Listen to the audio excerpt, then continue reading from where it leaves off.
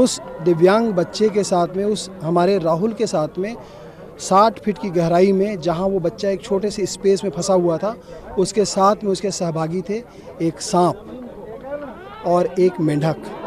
ये भी उसके साथ थे। आ, मैं जब इस बारे में जब मैं सोचता था तो रोंगटे खड़े हो जाते थे कि इन इन हालातों से हम उसको कैसे बचा पाएँगे?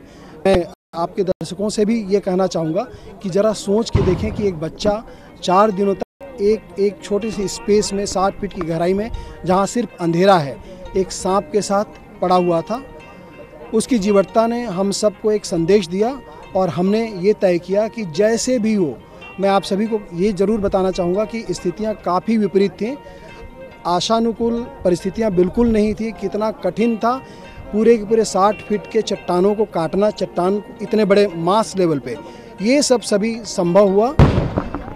हमने जिन जिन से मदद मांगी सबने बेझिझक, बिना समय गंवाए सारे मदद हमको मुहैया कराए।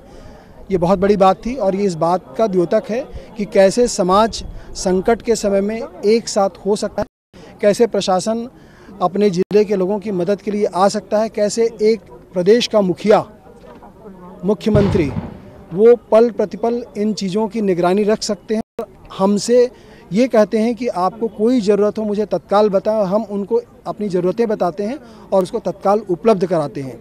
ये हम सब की जीत है, समाज की जीत है, आप सभी की जीत है। आप सभी लोग इस पूरे अभियान में साथ थे। मैं इस अवसर पर पूरी टीम को, पूरी टीम को, खासकर एनडीआरएफ की टीम को, एसडीआरएफ की टीम को, भारतीय सेना को, हमारे अलग जगहों से जुड़े हुए सभी स्थानीय शासन के और इस गाँव आसपास के लोग जिन्होंने बेझिझक जो उनसे बन सकता था वो मदद दी और इस मदद की सहायता से हम इस पूरे घटनाक्रम को जीत में बदलने में कामयाब हुए। मैं फिर से आप सभी को धन्यवाद ज्ञापित करना चाहूँगा। हमने जीत लिया हमारी टीम ने जीत लिया आप सभी दर्शकों की दुआओं ने जीत लिया। शब्द नहीं आप आतिशबाजी दे सकते हैं सबके चेहरे मुरझाए हुए थे।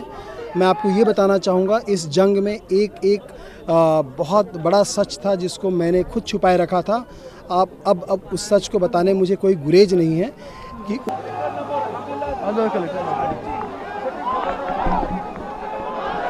आगे चलना मनोज बाइट होगी बाइट होगी।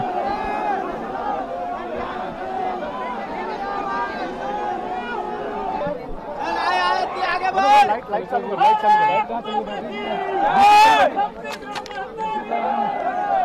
लो इधर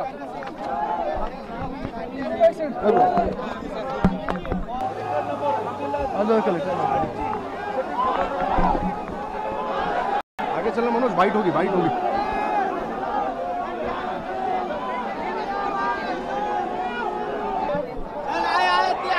लाइट लाइट चालू कर लाइट चालू कर लाइट चालू कर लो इधर 应该是